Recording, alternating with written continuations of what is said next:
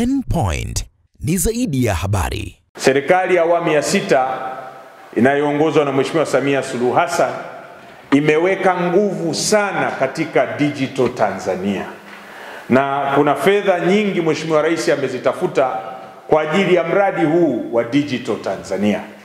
Sasa digital Tanzania bila wataalamu sidhani kama tutaweza kufika, na wataalamu ambao leo wanakuwa bread ni nyinyi hapo, wakuja kuinyanyua Tanzania kimasomaso katika the fourth industrial revolution ambayo ni, ni digital transformation.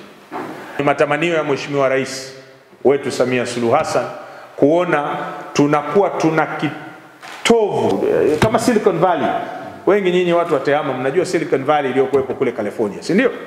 Eh, kwamba na sisi tukawa tuna Silicon Valley yetu ya kukuza vipaji vya TEHAMA. Katika hili IGA mmefanya kazi nzuri sana, niwapongeze sana katika kukuza vipaji hivi,